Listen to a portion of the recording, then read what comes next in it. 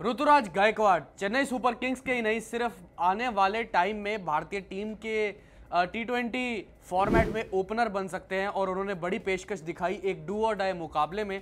Chennai Super Kings versus Delhi Capitals के बीच में आज मुकाबला चल रहा है अरुण जेटली स्टेडियम दिल्ली में और फैंस की तो भीड़ लगी ही लगी थी। स्टेडियम के बाहर, स्टेडियम के अंदर भी देखिए पूरे स्टैंड्स कवर्ड हैं फैंस से और जिस हिसाब से ऋतुराज गायकवाड़ ने ट्रीट दी है अपने फैंस को अरुण जेटली स्टेडियम में, वो कमाल की थी। शुरुआत में आते से ही उन्होंने जो है अपने आप को सेट कर लिया था। कॉनवे के साथ 140 प्लस रन्स की। पार्टनरशिप करी पहली विकेट के लिए और अभी अभी तो आउट हुए हैं। चेतन सकारिया ने उनको उन, उनका विकेट लिया। लेकिन जो बारवा ओवर था उसमें कुलदीप यादव को ऋतुराज गायकवाड़ ने नहीं बख्शा। अगर मैं आपको बात बताऊँ तो जो है 11.2 ओवर यानी बारहवें ओवर की दूसरी गेंद पर छक्का लगाया फिर तीसरी गेंद पर फिर छक्का लगाया चौथी गेंद पर फिर छक्का लगाया और ऐसे करके ऋतुराज गायकवाड़ ने 20 रन जो है उस ओवर में बना दिए। और वहीं कहीं ना कहीं देखिए ऋतुराज गायकवाड़ को आप आगे गेंद नहीं कर सकते फुलर लेंथ पर और वो वहाँ पर उनका स्ट्रॉन्ग जोन है चाहे ऑफ़ साइड हो मिडल हो मिड विकेट की तरफ़ खेलें, चाहे वो स्टम्प्स की सीध में खेलें, पर लेकिन आप उनको आगे नहीं दे सकते फुल और लेंथ पे गेंद नहीं दे सकते, वो उनके स्ट्रॉन्ग जोन है।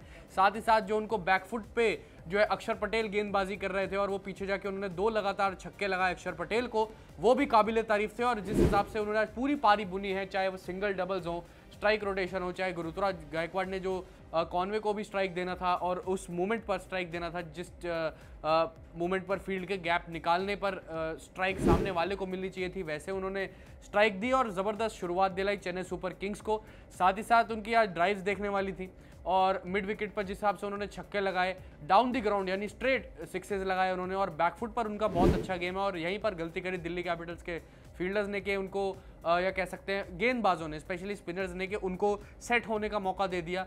आगे गेंद या थोड़ी सी गेंद को हवा देकर यानी फ़्लाइट देकर गेंद ना छोड़ते हुए उनको बैकफुट पे जाने के लिए अलाउ किया और बैकफुट पे उनका स्ट्रॉन्ग जोन है ही। और बैकफुट पे आज भरपूर जो है आज उन्होंने अपना कॉन्फिडेंट गेम दिखाया। अगर ऋतुराज गायकवाड़ मान लीजिए आउट ना होते तो आ, ऐसा ही लग रहा था कि भाई वो सेंचुरी की तरफ़ जा रहे और डू डाई मुकाबले में आपने हमेशा देखा है। हर सीज़न में आप पिछले साल हटा दीजिए, लेकिन हर सीज़न में ऑलमोस्ट जब से उन्होंने डेब्यू किया सी के लिए, हर सीज़न में ऋतुराज गायकवाड़ ने अपना प्रदर्शन करके दिखाया। लेकिन अगर आप देखें most 50 plus scores by C K opener तो यहाँ पर ऋतुराज गायकवाड़ सेकंड नंबर पे आ गए फाफ डू प्लेसी के बाद। फाफ डू प्लेसी के सी के लिए फिफ्टी प्लस स्कोर्स हैं ओपनर होते हुए 16 और ऋतुराज गायकवाड़ के हैं 14 तीसरे नंबर पे आते हैं माइक हसी 13 और ऐसे ही कुछ ज़बरदस्ती यहाँ पर प्रदर्शन करके दिखाया है, उन्होंने ज़बरदस्त प्रदर्शन करके दिखाया।